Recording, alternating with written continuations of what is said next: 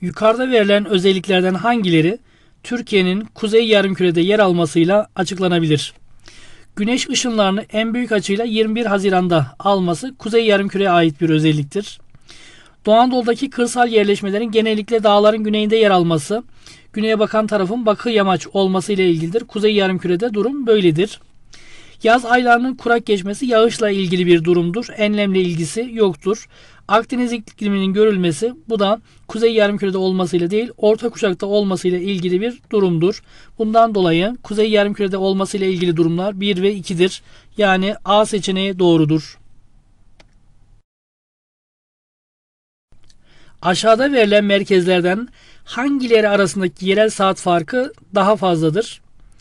Aksaray, Kayseri birbirine yakın yerlerdir. Arada fazla bir meridyen farkı yoktur. Trabzon, Diyarbakır yaklaşık aynı meridyenler üzerindedir. Fazla bir saat farkı yoktur. Burdur'la Bayburt arasında saat farkı oldukça fazladır. Burdur batıda yer alır. Bayburt doğudadır. Muğla ile Kars, Muğla Burdur'dan daha batıdadır. Kars da Bayburt'tan daha doğudadır. O zaman Burdur ve Bayburt'u eliyoruz. Muğla ile Kars arasındaki saat farkı daha fazladır. İstanbul Manisa, İstanbul Manisa arasında fazla bir saat farkı yoktur. Bundan dolayı doğru cevabımız D seçeneğidir. Türkiye'nin en batısında güneşin tepe noktasına geldiği anda Türkiye'nin en doğusunda güneşin konumu aşağıdakilerden hangisine benzer denilmiş. Türkiye'nin en batısında yer alan bir bölgede güneş tepe noktasına gelmişse doğusundaki bir yerde de güneş tepe noktasını biraz geçmiştir. Çünkü Türkiye'nin en doğusu ile en batısı arasında 1 saat 16 dakika yerel saat farkı vardır. Fazla bir yerel saat farkı olmadığı için birinde tepe noktasına gelmişse diğerinde de tepe noktasını birazcık aşmıştır. Bundan dolayı doğru cevabımız B seçeneğidir.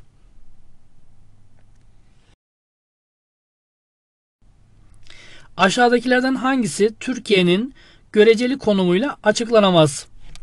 Hakkari'nin gerçek alanıyla izdüşüm alanı arasında farkın fazla olması engebe ile ilgilidir. Yani göreceli konumla ilgilidir.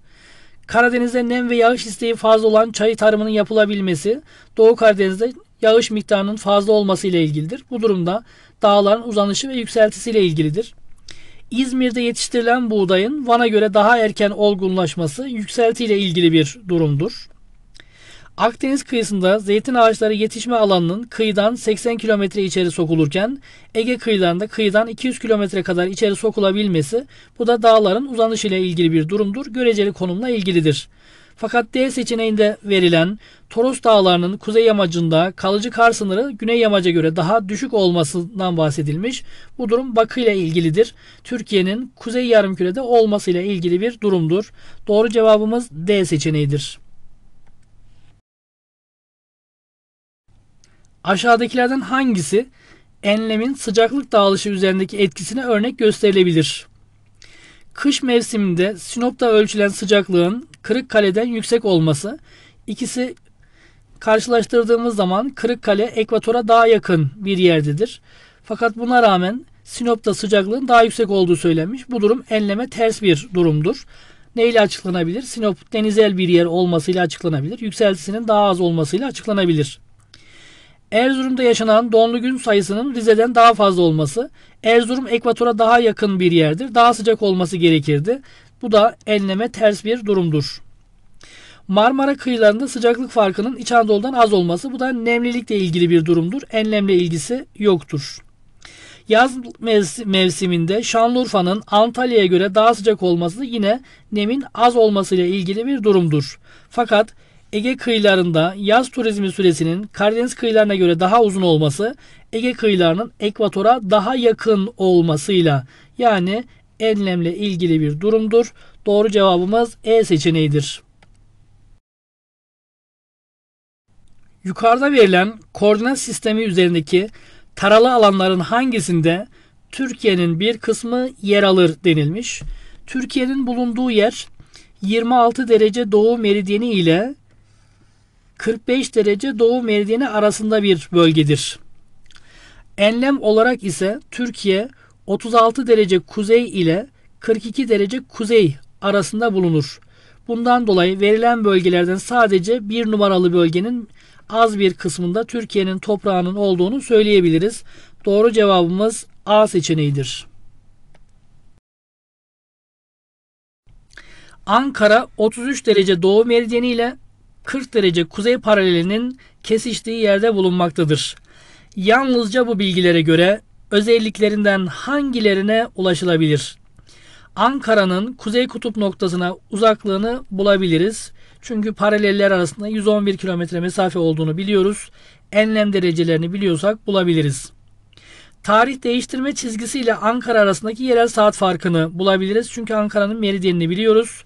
Türkiye'nin kullandığı ulusal saat yani 45 derece doğu meridyeninin saati ile Ankara'nın yerel saati arasında farkı bulabiliriz.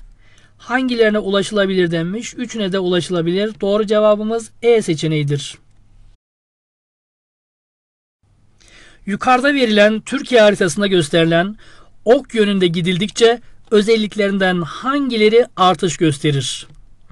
Denizlerin tuzluluk oranı azalır. Aynı boydaki cisimlerin gölge uzunluğu artar. Dünyanın kendi ekseni etrafındaki dönüş hızı yani çizgisel hızı kutuplara gittikçe azalır.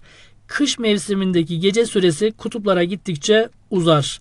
Artış gösterir denildiği için 2 ve 4 artış gösterir. Yani doğru cevabımız D seçeneğidir. Aşağıda verilen ülkelerden hangisiyle Türkiye'nin kara sınırı bulunmamaktadır? Türkiye'nin Gürcistan'la sınırı vardır. Türkiye'nin Irak'la sınırı vardır. Ermenistan'la sınırı vardır. Türkiye'nin Azerbaycan'la Nahçıvan'dan dolayı dolaylı olarak sınırı vardır. Fakat Türkiye'nin Türkmenistan'la kara sınırı bulunmamaktadır. Doğru cevabımız D seçeneğidir. Yukarıda verilen özelliklerden hangileri Türkiye'nin orta kuşakta yer aldığını kanıtlar? Akdeniz ikliminin etkili olması Akdeniz iklimi orta kuşakta görülür. Kanıtlar. Batı rüzgarlarının etkili olması batı rüzgarları orta kuşakta görülür. Kanıtlar. Kuzeye gidildikçe orman üst sınırının azalması bu Türkiye'nin kuzey yarımkürede olduğunu kanıtlar. Güneş ışınlarının 90 derece ile gelmemesi Türkiye'nin sadece dönenceler dışında olduğunu kanıtlar ama orta kuşakta olduğu anlamına gelmez. Bundan dolayı 1 ve 2 Türkiye'nin orta kuşakta olduğunu kanıtlar diyoruz. Doğru cevabımız A seçeneğidir.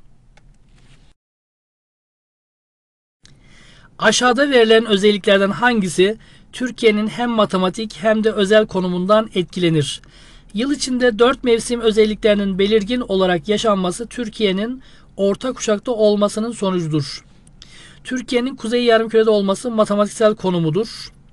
Yıl içinde bir tane ortak saat kullanılması Türkiye'nin boylamlarıyla ilgilidir. Türkiye üzerinden geçen meridyen sayısıyla ilgilidir. Denizin ılımanlaştırıcı etkisinin iç kesimlere sokulamaması dağların uzanışı ile ilgili durumlardır.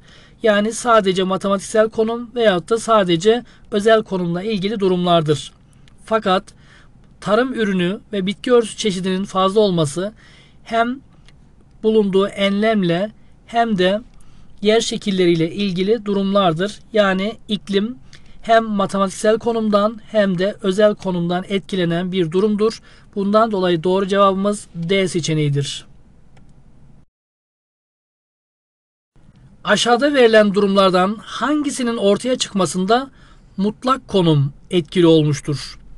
Ege kıyılarında yat limanları için gerekli koy ve körfezlerin çok olması, Ege kıyılarının girintili çıkıntılı olması, bu da dağların uzanışı ile ilgili bir durumdur. Yani özel konumdur.